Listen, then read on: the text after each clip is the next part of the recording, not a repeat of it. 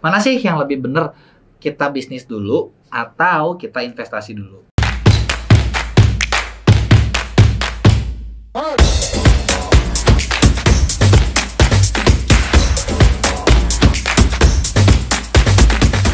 Ya, oke, halo sobatnya. Nah, di video kali ini kita bakal bahas tentang perbandingan tentang bisnis versus investasi gitu. Karena kayaknya cukup banyak orang nih yang bingung nih ketika mereka misalnya mau dapat uang tambahan, mau membangun sebuah usaha baru gitu ya.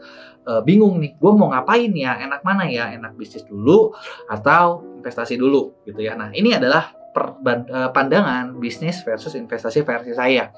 Gitu. Jadi uh, saya pernah bangun bisnis gitu mulai dari dua saya mulai bangun bisnis dari 2006 sampai sekarang gitu kan. Berbagai macam usaha pernah saya cobain gitu. Dan saya juga pernah melakukan berbagai investasi gitu ya. Mulai dari investasi yang beneran sampai ketipu investasi bodong gitu kan. Uh, mulai dari properti saham uh, terus kripto gitu kan beberapa pernah saya cobain gitu ya. Jadi da, kalau ini adalah ya semoga dari video ini gitu ya ini bisa ngejawab kebingungan teman-teman. Jadi ini adalah ya pandangan bisnis versus investasi versi saya. Nah pertama nih kalau teman-teman uh, tentang bisnis atau investasi pertama teman-teman harus ngerti dulu kan bedanya gitu ya. Nah, sebenarnya kalau bisnis kan kita membuat sebuah usaha kita keluar modal kita kerjain. Benar ya dan dari situ kita dapat keuntungan. Sedangkan investasi biasanya kita bisa dengan uh, nyimpan uang kita di orang lain atau disimpan di lembaga lain atau di badan lain yang bakal memutarkan uang tersebut sehingga kita dapat keuntungan. Gitu ya secara beda. Konsepnya adalah seperti itu. Nah kalau teman-teman pernah baca bukunya Robert Kiyosaki yang judulnya The Cash Flow Quadrant di situ Kiyosaki membagi orang jadi empat kuadran. Kuadran E gitu ya. Dan kuadran ini dibagi berdasarkan cara mereka mendapatkan uang gitu ya. Dan biasanya di buku ini nih orang tuh cenderung pengen ke kuadran kanan. Kesannya lebih keren lebih enak.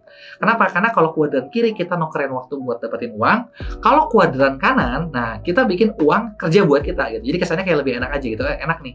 Gitu kan duitnya yang kerja gitu ya. Orang lain kan kita malas kerja ya. Malas kerja eh ini uang yang kerja buat kita. Gitu ya. Nah buat uang kerja buat kita itu ada dua cara. Cara pertama teman-teman bikin bisnis. Cara kedua teman-teman berinvestasi. Nah, uh, karena ini kuadrannya aja beda, sebenarnya skill set, cara pikirnya, pola pikirnya itu sebenarnya beda banget nih antara bisnis sama investasi gitu ya. Uh, orang bisnis cara mikirnya sama investor pasti beda gitu ya. Nah, maka dari itu sekarang kita bahas gitu Bedanya apa sih gitu. Enak mana sih? Apakah teman-teman sekarang ini lagi kerja atau mungkin yang sekarang lagi self employed atau teman-teman sekarang ini masih muda ya masih kuliah, pengen pengen mulai nih gitu kan merencanakan finansial, mending mana sih gua? Mending gua bisnis dulu apa mending investasi dulu gitu ya. Nah, uh, kita kita bedain ya. Kita kita adu ini antara antara bisnis dan investasi. Nah, kalau secara sifat gitu ya sifat nih bisnis sama investasi bedanya apa sih gitu ya? Nah kalau secara sifat bisnis itu kan kita membuat sesuatu. Membuat sesuatu untuk jadi menghasilkan gitu loh ya. Membuat sesuatu untuk menghasilkan. Nah di, artinya di sini ketika teman-teman membuat bisnis ya teman-teman perlu banyak effort gitu loh. Kita perlu usaha gitu. Kita perlu usaha. Kita nggak cukup sekedar modal uang tapi kita perlu usaha juga gitu loh. Kita bahkan perlu usaha banyak supaya bisnis itu bisa menghasilkan. Nah ini sifatnya nih. Nah jadi bisnis ada nggak enaknya nih? Capek nih. Nah tapi kalau investasi enaknya apa? Enaknya investasi itu adalah ya teman-teman nggak usah usaha. Teman-teman nggak usah ngapa-ngapain gitu loh. Teman-teman tinggal simpan uang aja biar uang itu yang kerja. Nah kalau kita lihat dari sisi ini sekilas kok kayak enakan investasi Bener ya, bener ya. Seperti enakan investasi. Nah, tapi, nah, tapi nih belum tentu hal itu bakal lebih benar gitu ya. Karena selain sifat kita bakal lihat banyak hal lagi. Gitu ya. Nah, yang kedua yang kita bakal bahas adalah Uh, kalau tadi nih sifatnya bisnis kerja, investasi nggak kerja, artinya enakan investasi. Nah yang kedua, resikonya ini bakal kita lihat. Resikonya mana yang lebih besar antara resiko berbisnis dengan resiko kita investasi, gitu ya. Nah kalau misalnya nih teman-teman buka bisnis, ada nggak resikonya ya? Ada. Modal yang teman-teman udah masukin itu bisa jadi nggak balik sama sekali, hilang gitu, rugi total loss gitu. Nah, sedangkan ketika teman-teman berinvestasi, teman-teman masukin modal, gitu ya, bisa nggak hilang semua? Bisa banget, bisa sekali gitu loh. Bisa banget teman-teman masukin di mana pun hilang gitu. Apalagi kalau dapetnya fraud atau scam gitu ya. Eh, beli apa tahu-tahu ternyata itu nggak ada gitu loh. Kita kena tipu gitu ya. Meskipun di bisnis juga kita bisa kena tipu gitu ya. Nah tapi ketika investasi ketika itu itu juga bisa hilang. Artinya resikonya sama-sama sama-sama nih resikonya bisa besar banget.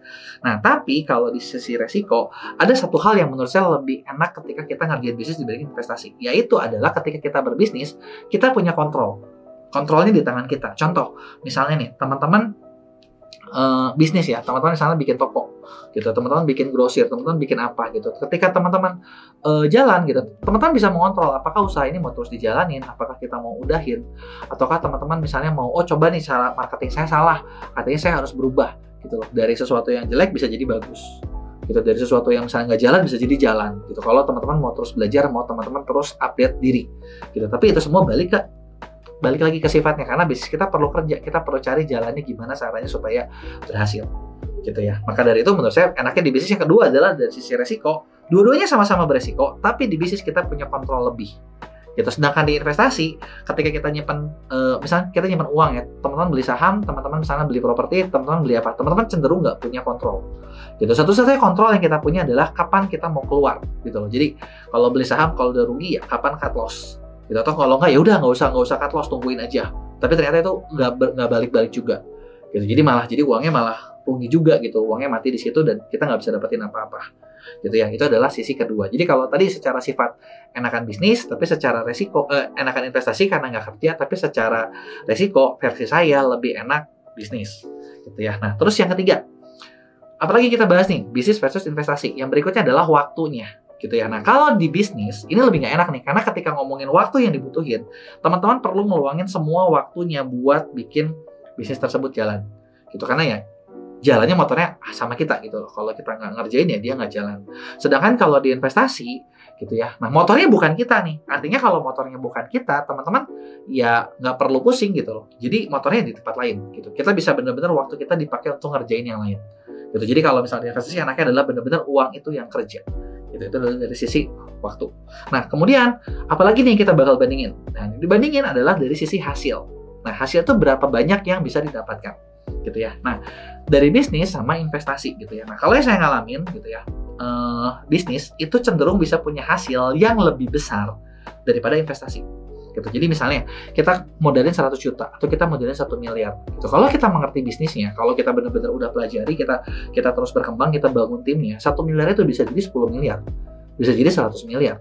Gitu. Karena kita benar-benar ngerti di situ gitu. Cuman ya kita memang butuh effort. Kita butuh waktu buat kerjain sedangkan kalau misalnya teman-teman e, di investasi gitu ya. Nah kita masukin nih uangnya nih. Nah returnnya memang bisa lumayan. Apalagi kalau e, teman-teman dapat misalnya harga cryptocurrency lagi di bawah banget dan jual di atas banget itu bisa tinggi sekali. Tapi masalahnya itu tidak mungkin didapatkan semua orang. Itu benar-benar cuman kalau kayak ketika kita lagi beruntung aja. Atau analisa teman-teman lagi bagus banget.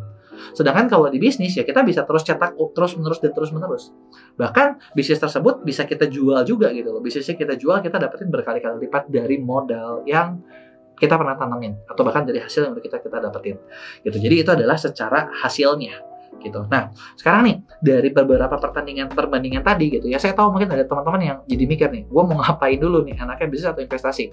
Ya sebenarnya kalau saran saya bener-bener terserah teman-teman gitu ya. Kalau misalnya nih teman-teman nggak punya waktu, teman-teman saat ini sambil bekerja, teman-teman nggak sempat ya mungkin investasi bisa jadi pilihan yang menarik gitu karena teman-teman nggak usah ngapa-ngapain. Tapi kalau misalnya teman-teman nih mungkin uangnya terbatas atau mungkin teman-teman punya waktu lebih atau mungkin misalnya gini punya modal dan punya waktu ya nggak ada salahnya teman-teman bangun bisnis juga lebih serius. Karena di situ bisa jadi lebih besar gitu. Karena jadi sebenarnya kalau antara bisnis atau investasi ini semua balik lagi ke posisi kitanya. Kitanya di mana nih? Ketika kita punya waktu kita ngerti kita punya waktu kita punya skill nggak ada salahnya buat terjun di bisnis. Tapi kalau misalnya kita nggak punya waktu kita juga nggak sempat buat belajar skillnya gitu kan ya. Teman-teman mau lebih aman ya. Teman-teman boleh coba di investasi karena itu juga bisa menguntungkan. Ya oke. Okay? mungkin itu aja uh, versi saya tentang bisnis sama investasi. Oke okay, sekian. Sampai jumpa di video berikutnya